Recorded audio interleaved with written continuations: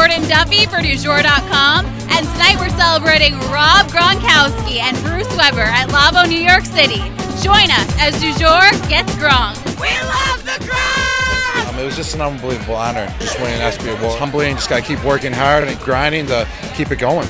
Not many people can say that they won the Super Bowl, let alone now the Super Bowl of fashion shooting with Bruce Weber. What was that experience like? Um, it was a great experience. Bruce Weber, one of the best at what he does. We had a blast down in Miami. It was a great honor to shoot with him.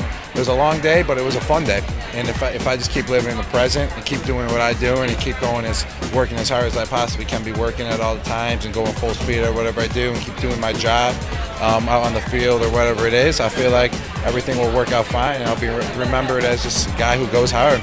Boxers or briefs? Boxers. Beer pong or flip cup? Flip cup. Blondes or brunettes? Blondes. And brunettes. Are you single? Yes. Are you? Tonight I am. I love DuJour.